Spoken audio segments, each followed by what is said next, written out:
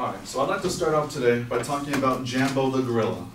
For those of you who don't know who he is, on August 30th, 1986, a five-year-old boy fell into a zoo's gorilla enclosure and was knocked unconscious. Incredibly, a giant male silverback gorilla called Jambo saved the boy after walking over to him and protecting him from a pack of apes.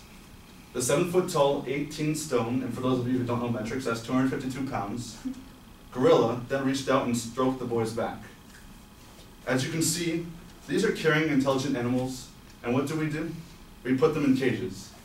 Therefore, I propose that we must dismantle all zoos in the world by January 11th, 2035. Now, the significance to this argument is that there exists a problem in the fact that zoos are unsafe both for the animals that are imprisoned within them, as well as the people who come to visit them. Let me give you some examples of animals that have died in zoos. A zoo in Gaza has painted two white donkeys with stripes in order to replace two zebras that died of starvation. Now, in addition to being funny, because like, wow, what are they doing? It, it sucks, because this came from the Telegraph, a British website, and you know, if an animal dies of starvation, that's not a very good zoo. And this one comes from the Como Park Zoo and Conservatory itself. They said out of 437 gorilla births at Association of Zoos and Aquariums institutions since 1980, 26% of males and 20% of females did not make it to their first birthday. That's kind of sad if you ask me.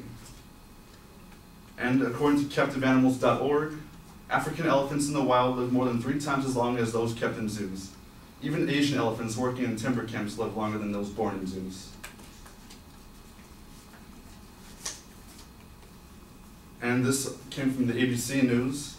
A sloth bear on loan to the Toledo Zoo died of dehydration because zoo officials, who thought she was pregnant, mistakenly denied her food and water for weeks. They didn't know that this bear does not hibernate, so that just shows if the zoos don't really know much about the animals, then what are the people going to learn? But enough about animals. Let me tell you some instances of people who have died in zoos. Now, you know, people go to zoos, they want to learn about animals, they want to see these things in action. But they're still dangerous animals, and this is why we need to separate them. For instance, this came from the New York Daily News. A Malayan tiger mauled a veteran employee known as the Tiger Whisperer to death at a Florida zoo on April 15, 2016. Stacey Konwiser, who was 38 years old, was killed by the 13-year-old male tiger in an enclosure known as the Night House. Away from the public, which is good, no children saw it, but still bad. And th this is where the tigers sleep and are fed. And uh, Zhang Xinyang, who was 35, had drunk four drop beers before deciding to enter the Beijing Zoo pen that belonged to six-year-old male panda, Gugu. Now I know you all think pandas are cuddly, but no, the startled Gugu bit both legs of his intruder. That came from BBC News, by the way. And here was one that I thought was really gross because there is even a video of it on YouTube. But according to the Daily Mail, which is a British website, a 50-year-old man has been savagely mauled to death by two tigers through the bars of their zoo cage as he tried to take a picture of them with his mobile phone.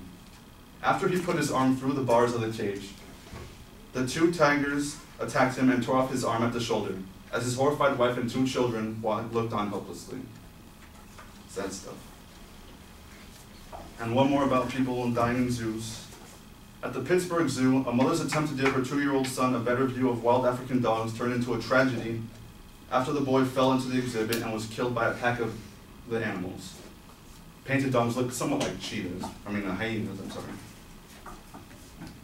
But now let me move on to inherency. Or, I mean, I'm sorry. How zoos are not educational. People go to zoos because they want to learn, but it's just not the case. According to Society and Animals, which is an online news journal, or scientific journal, I'm sorry, there remains no compelling evidence for the claim that zoos and aquariums promote attitude change, education, or, in, or interest in conservation in visitors. To back this up, let me talk about According to hubpages.com, visitors spend on average 10 to 117 seconds at each exhibit performing animal shows that teach children that animals are clowns. Zoos promote human dominance mentalities and keeping wildlife as pets. and what children do learn at zoos can be learned from other sources. There is no evidence that children learn from zoos, and zoos focus more on enter- entertainment. And my third main point is that uh, we should not prioritize man-made currency over the beauty of nature. Because fundamentally, this is where we came from, is nature. And we're just destroying it. And according to uh, Last Chance for Animals, the zoo's current elephant enclosure, the Elephants of Asia exhibit, opened on December 16, 2010 at a cost of $42 million. This is at San Diego, by the way. While an Asian elephant in the wild may roam freely over a range of 150,000 acres, the exhibit consists of just two acres of walkable ground, subdivided into five smaller yards. Not nearly enough room for the three resident elephants, Billy, Tina, and Jewel. But now let me move on to my inherency claim.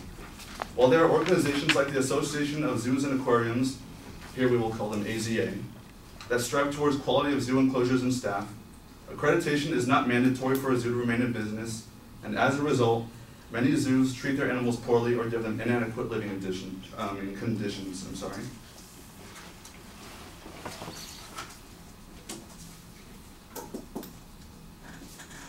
Here's one from National Geographic News talking about accreditation.